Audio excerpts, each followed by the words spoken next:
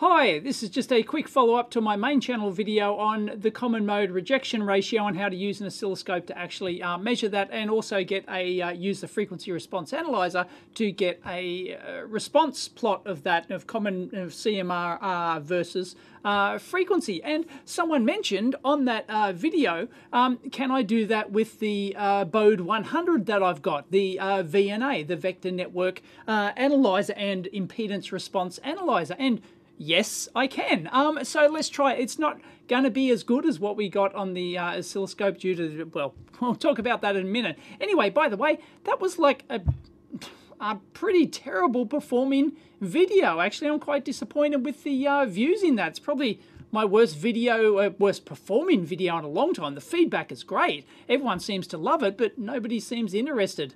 I don't know, did I get the title wrong? Did I get the thumbnail wrong? I did actually uh, put a poll on Twitter over which thumbnail um, to use, and I used the one that everyone uh, voted, you know, the vast majority uh, voted for. So I don't think it's the thumbnail, it's probably just like the subject title.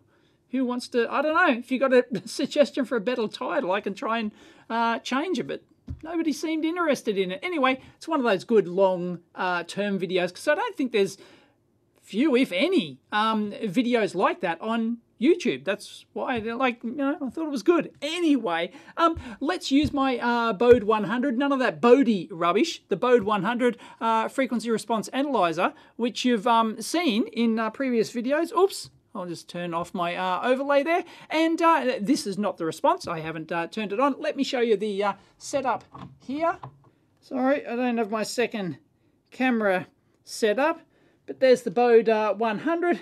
Got our output here got channel 1 input here and uh, channel 2 um, input is coming from the output of the uh, HVP100. I'll turn that on, switch it, we'll measure it at uh, times um, 1 to 10 uh, division ratio. Can't really do 1 to 100, I don't think. I haven't tried it yet. But uh, anyway, and then just like last time, I've got a 50 ohm load. There's an internal 50 ohm load, but I've disconnected that. So just an external uh, 50 ohm load on there. And um, as before, just uh, uh, twisted leads on the input and both connected, um, shorted together to the uh, output there across the 50 ohm load. So we can now plug that in and see what we get.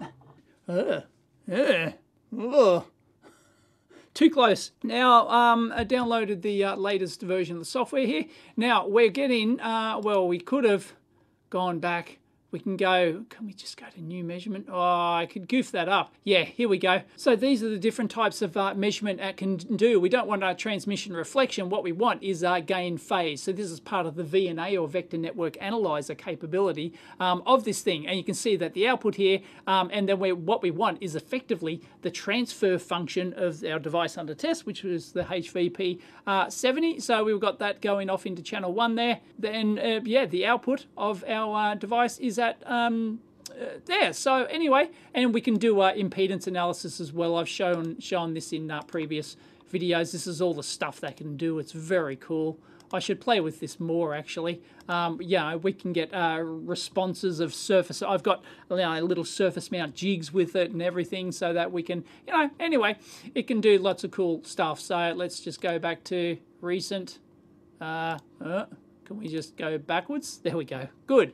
Okay, now what we want is our highest possible source voltage. Now, here is the problem here. Our source level, 13 dBm, uh, that's only 1 volt RMS into a 50 ohm load. Unfortunately, you know, we were using 5 volts in the previous video, so that's why it's not going to be as good here because we, uh, yeah, this all has to do because we're measuring very low signal levels. And I think that the, uh, well, down here, we can, the receiver number two, uh, we don't have any amplifiers on there. All we've got is an attenuator. And I think the lowest range is 7 millivolts full scale. I think, don't quote me on that. Um, but anyway, so we want no attenuator on the uh, input that we're trying to measure the common mode noise output of the uh, probe. So channel 2 basically. I don't know why they don't call it receiver 2, channel 2.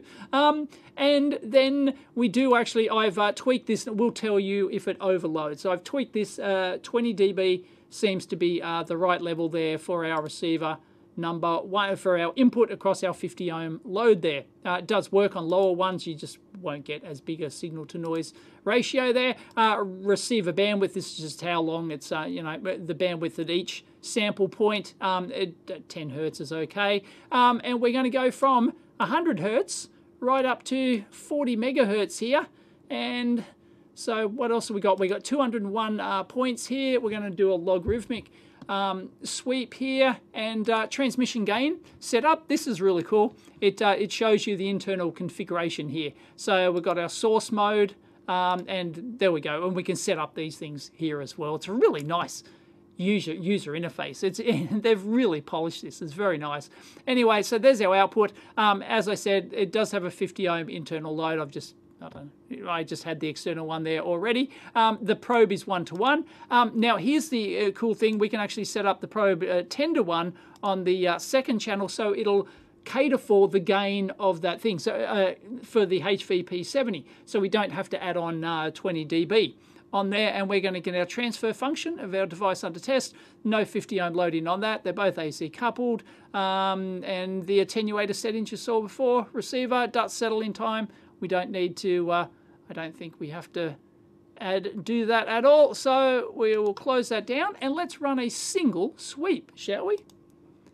And let's see what we get. Now, of course, down at the uh, low end, you can see on the uh, uh, y-axis on the left-hand side here, that's our magnitude in dB, and we're down in the noise there. So that's why we're getting like, you know, it'll come smoother in a sec. It'll now start being really smooth because we're now out of the signal, to, uh, now we've got decent signal to noise ratio and it's pretty schmick. So we're getting garbage on our uh, phase and the blue one is the phase. So the red one is the magnitude there.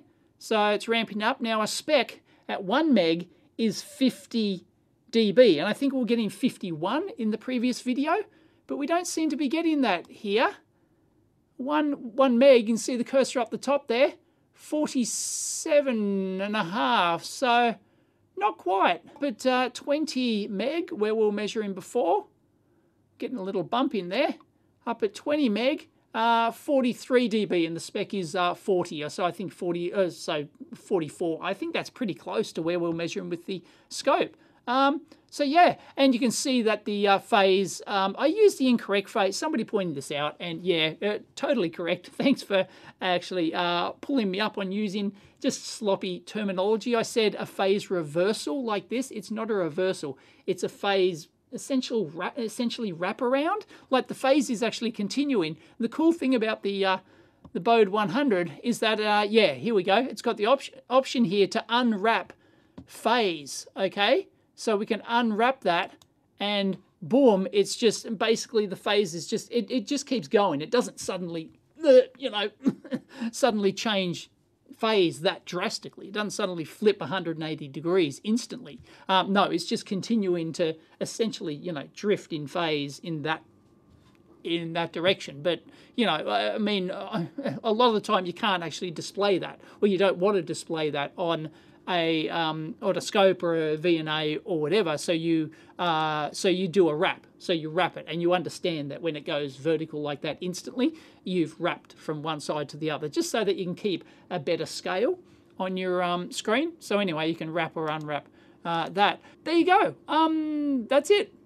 That's that, that's all we can do. That's the absolute best we can do there, unfortunately, um, because yeah, we don't have a high enough voltage level. They do sell a times four amplifier for this thing, which, which isn't much. Times four isn't a lot.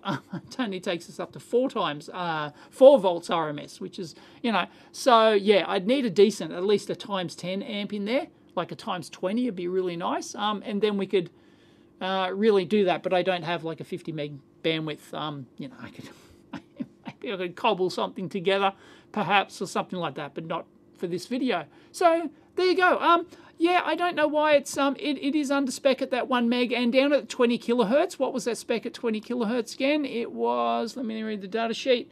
Uh, minus 60, and we're getting up the top there minus 50.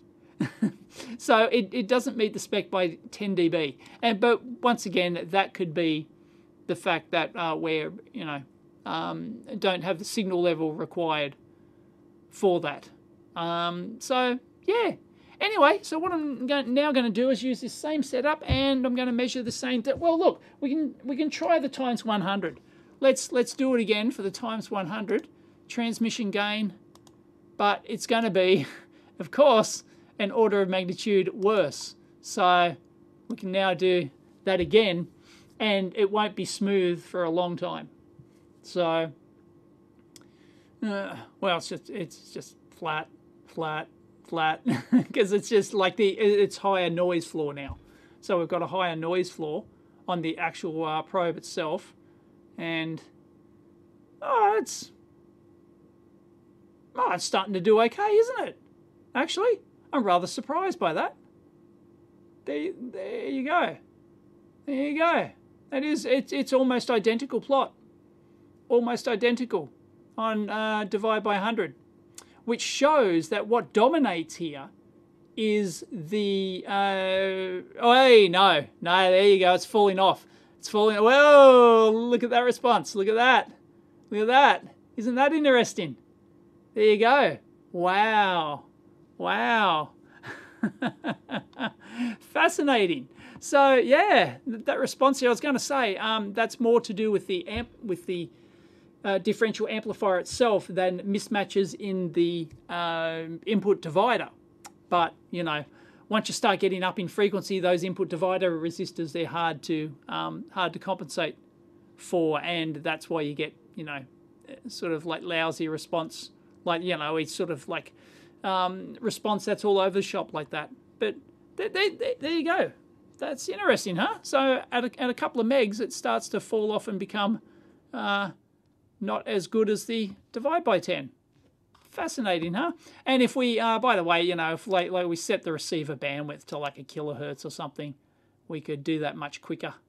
So, boom, look. but you can see it's not as, it isn't as smooth there. And if you set it down at one, if you're really keen, you set it down at one hertz, but you're not going to get any advantage to that. So even 300 hertz will give you a little bit better response. And then 100. Boom. Boom, baby, boom. Gets better each time. There you go. Fascinating, huh? I'm now going to get the Micsig uh, probe, the DP1007, is it? And try that. So here it is, the DP1007. And uh, for that, it's got a, I took the sticker off the back because I've done a teardown uh, video of this. Um, there's some adjustment uh, pots. For those who don't know, um, Micsig actually uh, specifically developed this uh, product for me. Um, they they didn't have this, and I said, hey, can you make an equivalent unit to my uh, to match the specs like times 10 and times 100 to match uh, basically my HVP 70 uh, probe at a lower uh, cost? And they went, um, we'll have a go at it, and uh, and they did. They actually developed this, but now it's on for sale anywhere. Um, and I had some issues with the common mode um, on this and they never got back to me on it. So I'm going to remeasure this now. I can't remember the exact uh, details, but anyway, yeah, so this is, um, so they did match practically specs for spec. If you look at the two data sheets side by side, they're almost identical. So Micsig just copied the HV Sapphire HVP70 uh, specs because I told them to. And so the reason you can get this is because of me. There you go. Anyway, let me hook it up. All right, here we go. Got it connected. Times 10 single shot. Oh, well, let's, uh, well, let's fix that up. Let's go down to 30 hertz, shall we? And whoa, look at that peaky peak. Whoa, something's, something's happening there. And maybe that's a mismatch in the input uh, divider. Oh, sorry, I was completely wrong before. It's not 20 megahertz, it's 10 megahertz on the HVP70. Why did I think 20? Um, anyway, so yeah, yeah, oops, I completely goofed that. Uh, yeah, so it's the same spec, minus 40. Yeah, and minus 60 at 20 kilohertz. So minus 40 at 10. So minus 40 at 10. And yeah, they're getting minus 33 minus 33.6. So yeah, and at 1 meg, uh, 1 meg is 52, so it does meet the uh, 1 meg spec. and at 20 kilohertz minus 60 so yeah it does it does actually meet that but it's got this yeah it's got this big response in there and yeah uh, something's happening oh sorry I didn't ah so we'll change that to 100 we'll repeat that oops there we go minus 60 boom and up she goes, up she goes. Yeah, see how it gets, see how it gets jaggy there? Once you're down, you know, below the noise floor there, sort of you start getting into the noise. But yeah, um, at at 10 meg, it's yeah minus 20.8. So yep. So there you go. That's the that's the uh, Micsig compared to the uh, HVP 70. Uh, HVP 70 is um smooth, you know, doesn't have this big issue down here. So yeah, is that an imbalance in the uh, divider front end on the Micsig? What's going on there? Is there something, or the diff amp in there, and or the diff amp, um, the response to the diff amp? But yeah, that's, uh, but yeah, you can notice that, uh, yeah, the phase just goes whoop, and then once again, we've got a wrap like that, and then it goes way and back up. It's like it's like a roller coaster. So yep, it's all over the shop. Um, yeah, not not quite as good a response as the HVP 70, but the Sapphire do make some of the best probes in the business. So yeah, Micsig just haven't nailed that in, but it is much cheaper. So you know, eh, meh. But there you go. Hope you found that interesting. If you did, give it a big thumbs up. Catch you next time.